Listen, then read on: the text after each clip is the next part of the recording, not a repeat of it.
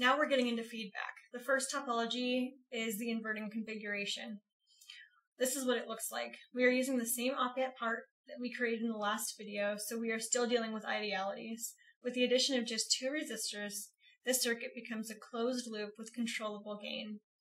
The power supply and the feedback are both tied to the inverting terminal, hence inverting configuration and negative feedback. Let's see if we can't figure out what the closed loop gain of the amplifier will be and then verify it with the simple simulation.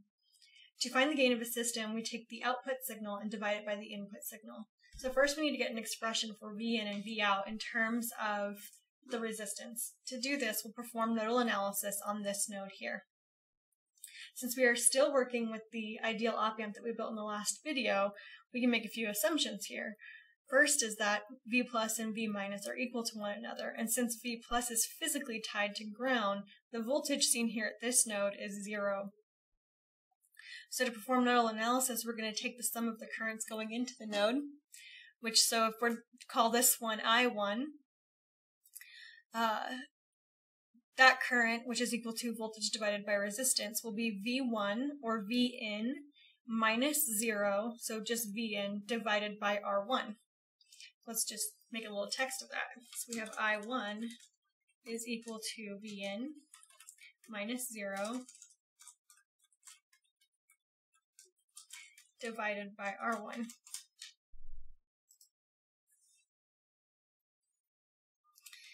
And here we have, um, since we know that this is zero volts, and we know that current flows from high to low potential, the current going into this node is flowing from V out into this node.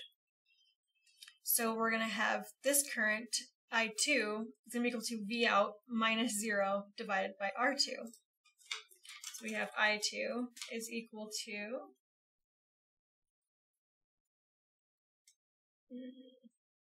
I2 is equal to, so V out minus 0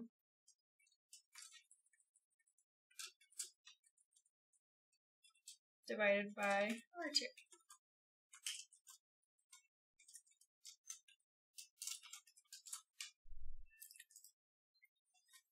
Now we know that the sum of currents flowing into the node is equal to the sum of the currents flowing out of the node. So we have I1 flowing in this direction, then we have I2 flowing in this direction, which means they're equal and opposite, which means that I1 is equal to the negative of I2. So we have I1 is equal to negative I2. And to put down one more equation, we have that the gain is equal to V out divided by V in. Well, it looks like we can already figure out what that gain is because we have an expression with V1 here, or V in here, and we have an expression with V out here. So if we set these two equal to each other, we get that the gain is equal to Vn over R1 is equal to minus V out divided by R2. I guess I'll move these.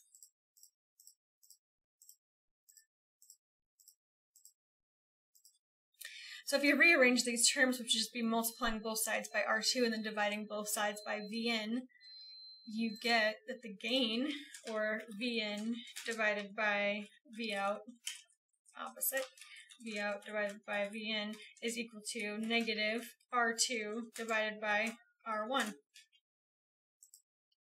And that's the gain of this closed loop negative feedback inverting configuration. So let's sim it. Uh, so we first need to put some values here, and this is what's pretty cool about LT Spice is let's say you're doing a homework problem and they only give you one value for R1 and you have to compute this value. You actually don't have to do the math, which would be a simple division, but uh, you can set up this as a parameter and have it step through until it finds the, uh, the correct value that you need. So let's say uh, we have a resistance up here of 10k, and we want our gain to be 10. In order to get a gain of 10, we would have to set this to 1k. So let's first verify it, then I'll put in some wonky value here, and then we'll set up this as a parameter and uh, find the exact value of R1 that gives us that output. Okay, so let's send this. We've got uh, V1 is equal to 1, so our output, what we should see is negative 10 volts all the way across, and let's see if that's true. So we'll run it, we'll perform a transient analysis. Let's do something really short, 0.1 milli. Probe the output, there we go. We see it exactly, negative 10 volts. Um, and I mean, I'm a little, I'm cheating just a little bit by placing V1 as 1, because if you wanted to find the gain, what you would really do is you'd perform an algebraic expression up here at the top of the plot plane. So what I did was I right-clicked on V out, and it's going to give you this um, text box here. And so the gain is actually the voltage out divided by the voltage in. So you're actually going to type in that expression. So you want to find V of V in. So it's V out divided by V in, right.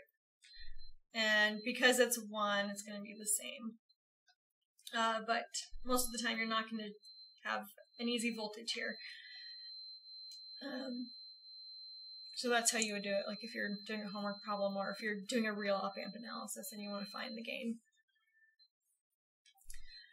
Um, all right, so let's say we don't know what this resistor is, and you're doing a little bit of reverse engineering. To set something up as a parameter, you use the curly brackets. And I just do R so that I know that I'm dealing with a resistor, but you can set this as any variable that you want. And let's say this is 2.7k. I'm going to change it to 4.7k. And let's change this as well. Let's change this to 5 volts. That way we have to perform the, uh, the gain equation. And let's say we're looking for uh, a gain of 2. So I'm going to drop a little text box here. So we want gain equal to 2.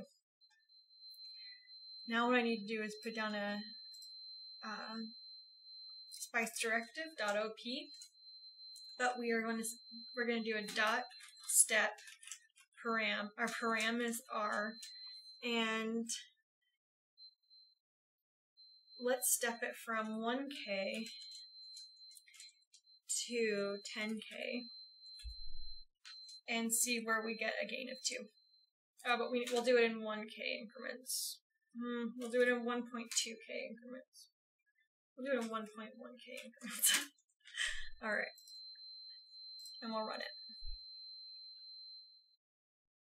Okay, so we never got the gain of exactly 2.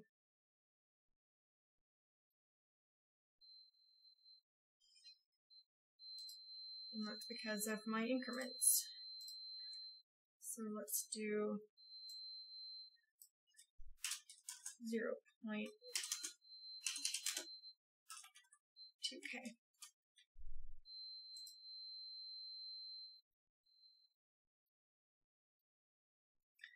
And we'll go with 0.1k.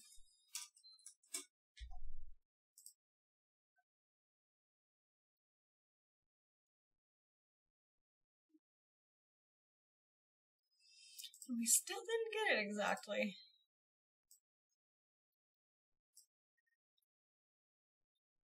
That's still because of the increments. so let's make this just a little bit nicer. Let's go here. Um, we'll just do 5k. And then here we'll go with 0.5 k increments.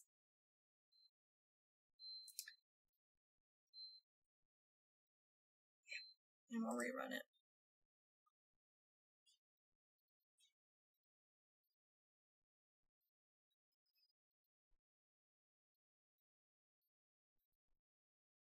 That's thinking just a little bit too much for my liking. Oh, so they didn't add the K at the end. Okay.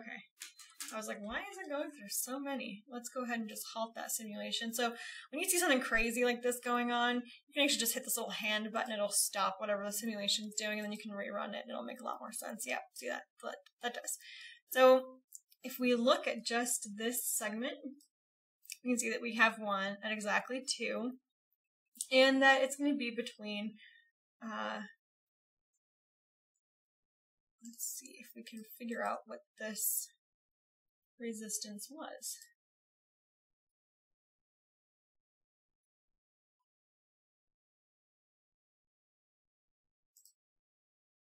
So here we have our displayed steps. Here's our resistance values. So let's go ahead and replot this so that we can figure out what all these steps were.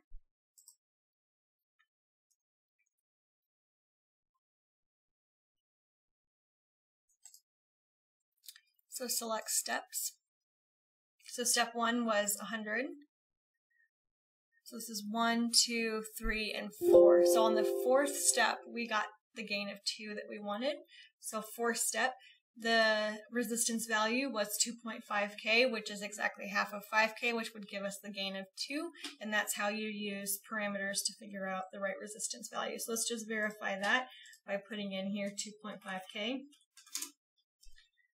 We can delete this param stepping there. And if we rerun the simulation, you see that we've got um, the gain of 2 with the resistance of 2.5k, which is how we found it when we stepped through uh, with the previous simulation.